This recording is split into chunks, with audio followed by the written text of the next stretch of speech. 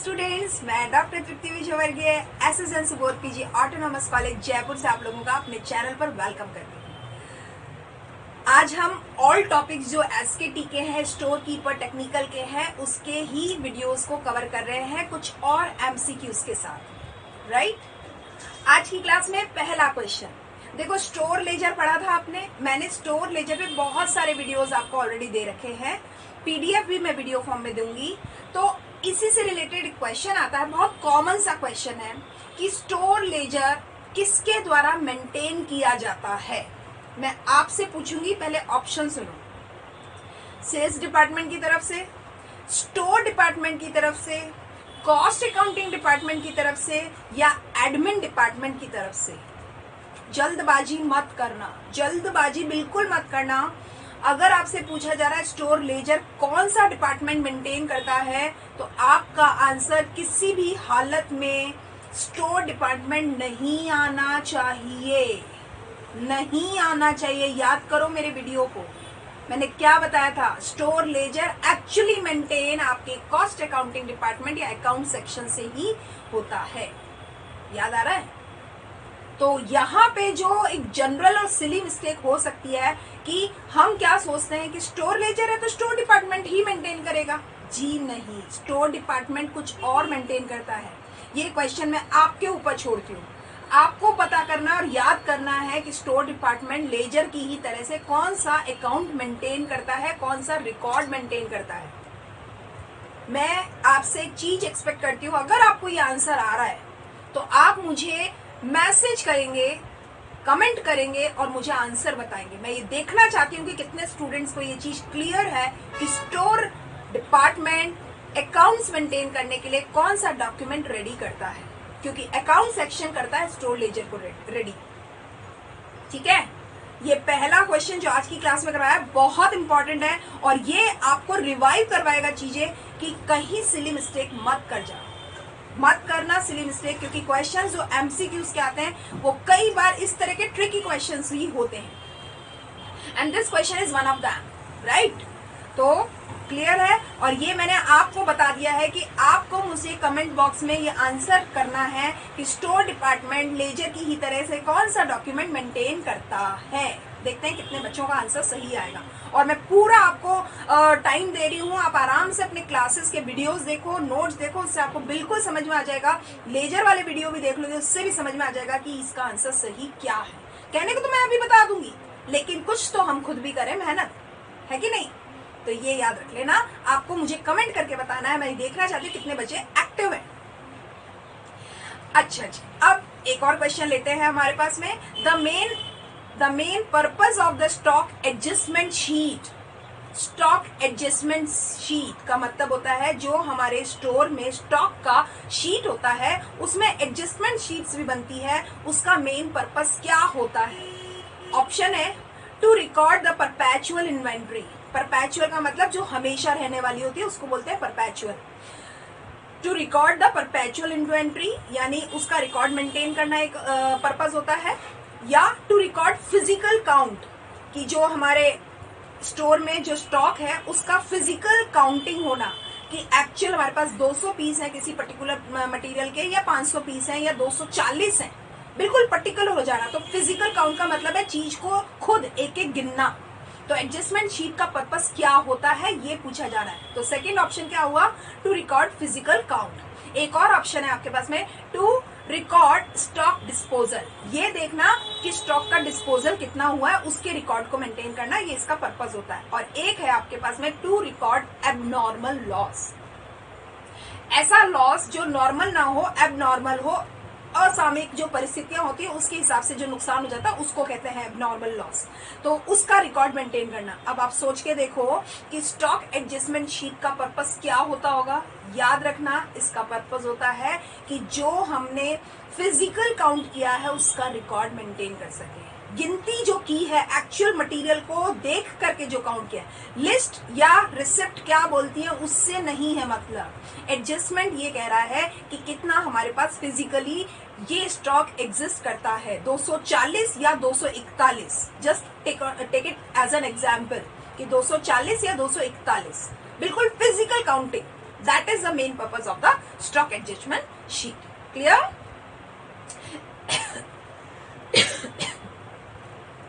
अब एक क्वेश्चन लेते हैं। इन स्टोर अकाउंटिंग अब आपके ये सारे मिक्स पर क्वेश्चन चल रहे हैं, आपको ध्यान आ जाएगा।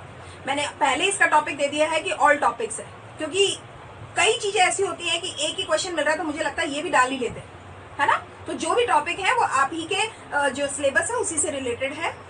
In store accounting the normal entry to record stock movement is अगर स्टोर अकाउंटिंग की बात करें और नॉर्मल एंट्री की बात करें, जो स्टॉक के मूवमेंट का रिकॉर्ड शो करे, वो क्या हो सकती है?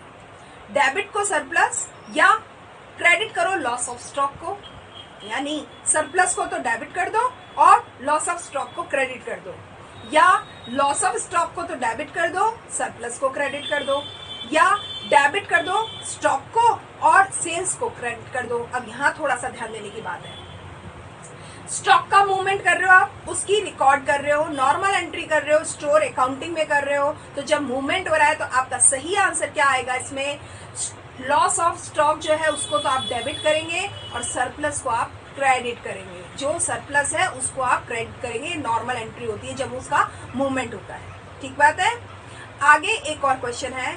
Bin card. आपने बिन कार्ड भी पढ़ा इन्वेंट्री मैनेजमेंट में? टू बिन कार्ड्स होते हैं तो bin card is a document that records एक ऐसा डॉक्यूमेंट होता है जो किस चीज़ को रिकॉर्ड करता है? जरा देखना।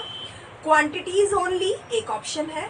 वैल्यूज़ ओनली दूसरा ऑप्शन है। और क्वांटिटीज एंड वैल्यू बोथ दोनों को रिकॉर्ड करता है। तो ये इसका तीसरा ऑप्शन है। अब आपको सोचना है कि क्या आएगा इसका आंसर इसका आंसर आएगा क्वांटिटीज ओनली केवल क्वांटिटीज ओनली को ही ये रिकॉर्ड करता है। ठीक बात है? है ना? तो बिन कार्ड में केवल हम क्वांटिटीज को रिकॉर्ड करते हैं कि आ, कितनी क्वांटिटी में चीज़ एक बिन में रहेगी और जब वो खत्म हो जाती है तो हम उसको दूसरे बिन से फ़र्स्ट बिन में ट्रांसफ़र कर देते हैं। यही इसका मेन पर्पज होता है। तो क्वांटिटीज का रिकॉर्ड मेंटेन करने के लिए टू बिन सिस्टम को काम में लिया जाता है। ठीक है? अब आगे बढ़ते हैं अपन। क्वेश्चन है the material quantity which is ordered at one time to reduce total holding cost and ordering cost is referred to as. जो मटेरियल क्वांटिटी जो है, जिसको ऑर्डर किया जाता है एक समय पर, वो टोटल होल्डिंग कॉस्ट और ऑर्डरिंग कॉस्ट को रिड्यूस करती है। उसको हम क्या कहते हैं? ऐसी मटेरियल क्वांटिटी को हम क्या कहते हैं जिसका एक समय पर ऑर्डर किया गया है वो टोटल होल्डिंग कॉस्ट और ऑर्डरिंग कॉस्ट को रिड्यूस करती है। हम इसका ऑप्शन देख रहे हैं minimum order quantity economic order quantity और टोटल ऑर्डर क्वांटिटी मैनेजमेंट अब ध्यान रखो ईओ ओ क्यू कहोगे एमओ क्यू कहोगे या टी क्यू एम कहोगे याद करो, हमारा क्वेश्चन क्या कह रहा है? ये कह रहा है, ऐसी क्वांटिटी को हम क्या कहेंगे जब हम एक समय पर जब ऑर्डर प्लेस करते हैं तो जब हमारे टोटल होल्डिंग कॉस्ट में ये चीज़ कम हो जाती है, तब हम इस क्वांटिटी का ऑर्डर करते हैं। ऐसी क्वांटिटी को हम क्या कह रहे हैं? तो ध्यान रखो इकोनॉमिक ऑर्डर क्वांटिटी होगा। यानी इकोनॉमिक ऑर्डर का मतलब है कि नॉर्मल हम उसमें ये मानते हैं कि हम जब ऑर्डर प्लेस करेंगे तो हमारा काम रुकेगा नहीं जब तक कि सप्लायर हमें अपनी सप्लाई देगा, हमारा इधर से काम मैन्युफैक्चरिंग का भी चलता रहेगा। तो एक ऐसे लेवल पे इकोनॉमिक लेवल पे हम उस क्वांटिटी के लिए ऑर्डर लगाएँगे, जब हमें ये लगता है कि आज जब लगा देंगे तो भले आ भी जाएगा सप्लाई की सप्लाई जो है सप्लायर्स की तरफ़ से मटेरियल की आ भी जाएगी तो भी ओवर स्टॉक नहीं होगा। और अगर वो उधर से आने में थोड़ी सी देर भी रह जाती है, तब भी अपना काम चला जाएगा, चलता जाएगा। तो इसको हम इकोनॉमिक क्वांटिटी ऑर्डर कहते हैं ई ओ क्यू इसका बकायदा एक फॉर्मूला होता है, तब इससे काम चलता है कि आपके पास कितना कॉस्टिंग है और कितना अच्छा इसमें भी बहुत सारी चीज़ें होती हैं कि किस मटेरियल की कॉस्टिंग क्या है, उसके हिसाब से ईओ e क्यू हर मटेरियल का अलग अलग होता है। तो किस सामान को हमें कब इकोनॉमिक ऑर्डर को ध्यान में रख करके उसका ऑर्डर प्लेस करना है, ये चीज़ें अलग अलग मटेरियल पे अलग अलग तरह से काउंट होती है। ठीक है? अब एक क्वेश्चन है what is the level of the inventory level at which entry places new order किस लेवल पर हम नए ऑर्डर को प्लेस करते हैं? मिनिमम स्टॉक में मिनिमम स्टॉक लेवल पे मैक्सिमम स्टॉक लेवल पे बफर स्टॉक पे या री ऑर्डर लेवल पे? री ऑर्डर लेवल होता है वो, जहाँ पे हम नया ऑर्डर प्लेस करते हैं। री ऑर्डर रीऑर्डर का मतलब नेक्स्ट ऑर्डर हमें कब लगाना है? पुनरादेश कहते हैं इसको। तो वो हमें कब लगाना है? ये उस बात पे उस पे होता है कि इस लेवल पे अगर वो चीज़ आ जाती है तो हमें एक नया ऑर्डर प्लेस करना होता है। ठीक है? अब एक क्वेश्चन लेते हैं। जो बिल ऑफ़ मटेरियल होता है, उसका मेन ऑब्जेक्ट क्या होता है? Main objective of the bill of material is क्या होता है इसका? फिक्स्ड एसेट्स का रिक्वेजिशन लगाना या मटेरियल रिक्वेजिशन को लगाना या नन ऑफ़ द अब अब बिल कौन सा है? बिल ऑफ़ मटेरियल है। हुँ? तो इसका क्या ऑब्जेक्ट होता होगा? देखो, इसका ऑब्जेक्ट होता है मटेरियल की रिक्विजिशन को लगाना, यानी कितनी क्वांटिटी में कौन सी पर्टिकुलर नेचर की चीज़ हमें चाहिए? तो इसको बिल ऑफ़ मटेरियल कहते हैं और इसका मेन पर्पज होता है उसकी रिक्विजिशन को लगाना मटेरियल की रिक्विजिशन को लगाना, ठीक है? अब एक क्वेश्चन ले रहे हैं abnormal loss of material abnormal loss of material dash absorb into the cost of production कौन सा एबनॉर्मल लॉस ऑफ़ मटेरियल जो है, वो कॉस्ट ऑफ़ प्रोडक्शन में एब्जॉर्ब किया जाता है। किया जाता है या नहीं किया जाता है? यानी एबनॉर्मल लॉस ऑफ़ मटेरियल को हम कॉस्ट ऑफ़ प्रोडक्शन में एब्जॉर्ब करेंगे या नहीं करेंगे? तो क्वेश्चन में ऑप्शन है आपके पास हाँ करेंगे या नहीं करेंगे? जी नहीं, बिल्कुल नहीं करेंगे। इसका सही आंसर है, नहीं करेंगे। तो एबनॉर्मल लॉस ऑफ़ मटेरियल को हम कभी भी कॉस्ट ऑफ़ प्रोडक्शन में नहीं एब्जॉर्व करते। वो एक अलग चीज़ है। अगर आपका दस हज़ार रुपए का माल जल जाता है तो उसको आप कॉस्ट ऑफ़ मटेरियल में नहीं इंक्लूड करोगे तो कि दस हज़ार का माल हमारा जो बिक सकता था, उससे हमारा जो जनरेट हो जाता, पैसा अब नहीं हो पाया, जल गया है तो इस पैसे को हम rest of the material cost में काउंट कर लें। ऐसा नहीं होगा। उसको एब्जॉर्व नहीं किया जाता, याद रखना। ठीक है? अब एक क्वेश्चन है आपके पास में। डिफेक्टिव आइटम्स जो नुक्स वाले होते हैं जिनमें कोई आ, कमी होती है। Defective items can be dash after incurring some additional cost अगर कोई डिफेक्टिव है आइटम तो हम उसमें कुछ एडिशनल कॉस्ट को एडजस्ट करके उसका क्या करते हैं? डिस्पोज करते हैं रेक्टिफाई करते हैं या नन ऑफ़ द अबव करते हैं?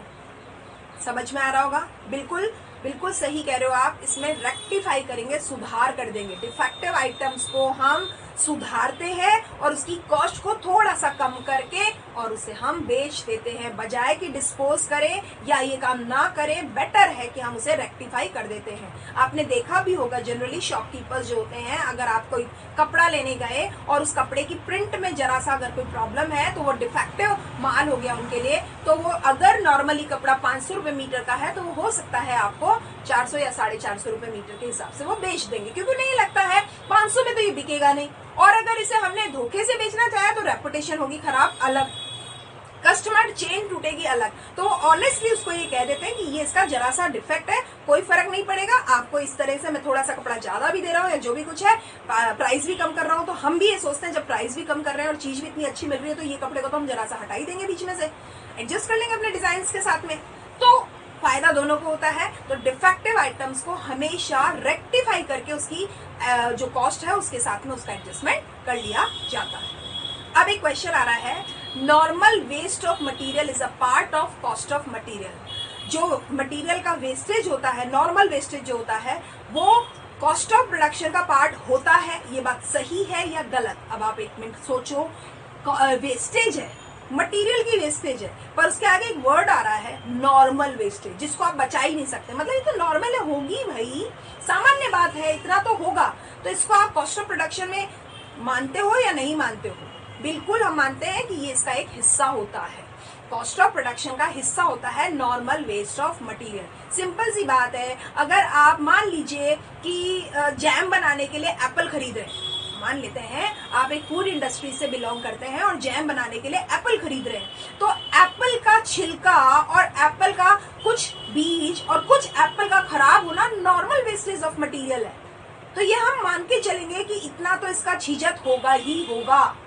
इसको छीजत भी कहते हैं। वो आ, जो एप्पल है वो कुछ खराब भी निकल सकता है। उसका छिलके में भी जाएगा उसका वज़न पानी भी सूखेगा वगैरह वगैरह वगैरह वगैरह। ये सारी चीज़ें कॉस्ट ऑफ़ प्रोडक्शन में काउंट होती है। तो this is the true statement right अब एक और question normal loss of material can be avoided ये क्वेश्चन आ रहा है, क्या हम नॉर्मल लॉस ऑफ़ मटीरियल को टाल सकते हैं अवॉइड कर सकते हैं? हाँ या ना? अब आप मुझे एक बात बताइए, अभी मैं, मैंने एग्जांपल क्या दिया है कि हम एक फ़ूड इंडस्ट्री से हैं एप्पल की जैम बनाने की आपकी एक फैक्ट्री है एप्पल खरीदते हैं आप, अब आप उसका छिलका नहीं हटाएँगे क्या? खराब होने से उसको मतलब मान सकते हैं क्या कि एक भी एप्पल खराब नहीं होगा, जो आपको सप्लायर आपको सप्लाई देगा? अरे, ऐसे कैसे हो सकता है? तो नॉर्मल लॉस ऑफ़ मटेरियल को हम अवॉइड बिल्कुल नहीं कर सकते। तो इसके ऑप्शन थे आपके पास में ट्रू या फॉल्स तो बिल्कुल सही बात है, हम नहीं कर सकते। नो नो नहीं no it can not be avoided right